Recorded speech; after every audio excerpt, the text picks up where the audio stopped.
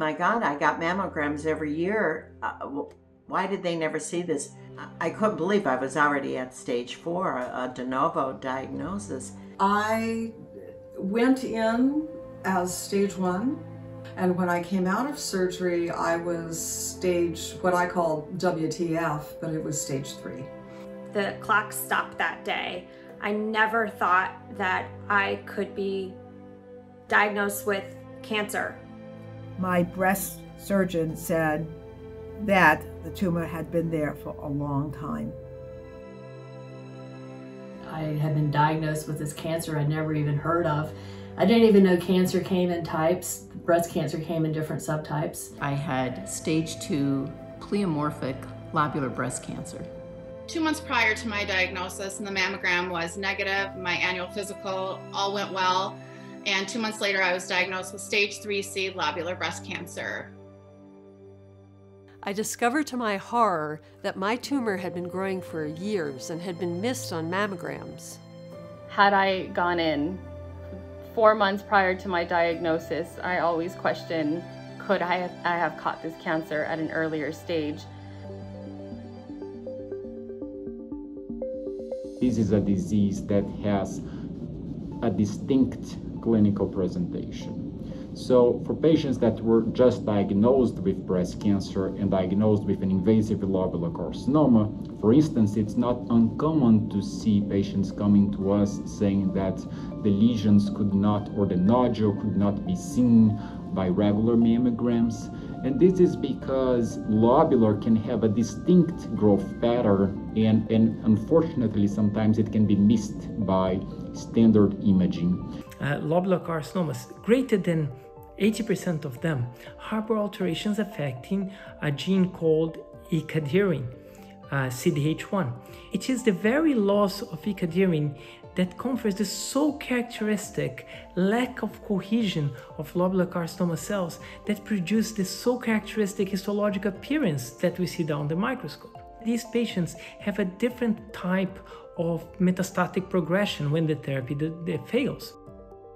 The E-cadherin may also play a role in the way lobular carcinomas respond differently to the current mainstay of treatments for patients with breast cancer.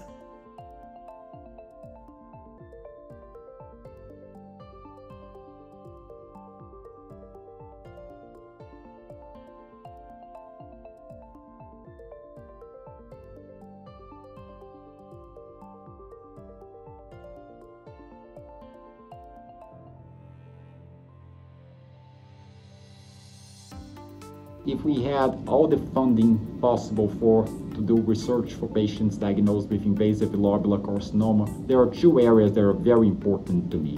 One is uh, imaging for early diagnosis and follow-up for patients diagnosed with ILC. The other area that's very important to me is the treatment for patients who have recurrent disease. And I think that we need to work very hard and leverage all that we have learned in terms of genomics and think very carefully about how to tackle this disease and really go with a strong focus in making uh, treatments for patients diagnosed with recurrent disease better. As a clinician, one of the most compelling things that made me want to study lobular cancer was seeing how it affected patients with late stage disease and wanting to stop that from, from happening for the longest time it was mostly ignored in research as well as in basic wet bench research as well as in clinical research. Research for ILC on ILC just requires uh, funding. The more, the better.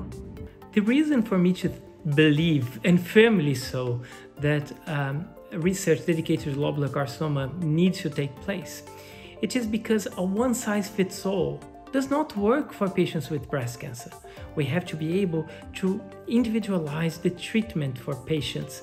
And how can we do that if for the second most frequent type of breast cancer, we don't have many studies and a real paucity of clinical trials looking at lobular carcinoma specifically? So understanding the right context for us to tailor the treatment of patients with invasive lobular carcinoma is essential. To focus at least some energy, both in the clinical trials arena and in the laboratory research arena, um, specifically on lobular breast cancer to see if we can better understand this entity.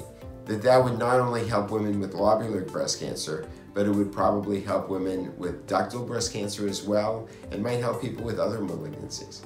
Without a very focused, dedicated, and smart and um, strategic approach to talking about lobular breast cancer, it's just going to get lost in the clutter.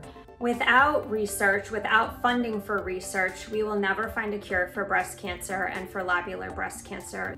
It is really only through more research that we are going to understand lobular breast cancer well enough for there to be targeted treatments and to eradicate it altogether. The Lobular Breast Cancer Alliance exists to raise awareness about this sneaky breast cancer subtype, provide information to individuals diagnosed or living with lobular breast cancer, and to fund desperately needed ILC research. LBCA works with a patient advocate advisory board and an international expert scientific advisory board. The Scientific Advisory Board helps us provide evidence based and current information about lobular breast cancer that we share on our website and social media. It is also through our Scientific Advisory Board members that we participate in and help promote cross country and cross continent ILC research collaborations to generate more ILC specific research and clinical trials. The Lobular Breast Cancer Alliance website is a wealth of information.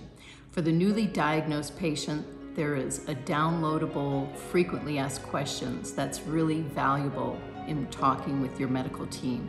The Lobular Breast Cancer Alliance can be a tremendous resource for identifying clinical trials. If you want to know the latest on imaging, the Lobular Breast Cancer Alliance has great webinars, articles, and even a research library that can give you this information as well as a wealth of others. When I was first diagnosed with lobular breast cancer, I scoured the internet for information and finally found the Lobular Breast Cancer Alliance website. LBCA saved my sanity. And when I realized how much more work is needed to raise awareness about this sneaky breast cancer subtype, I knew I had to get involved and I had to help lead this fight.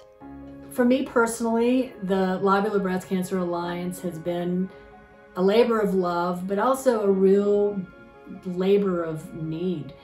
I was so struck as a patient about the lack of information and the lack of appreciation for a patient's experience and drive and urgency to make changes in that. It really motivated me to make a change. For them to connect with uh, breast cancer advocates, specifically with an interest in, in lobular breast cancer.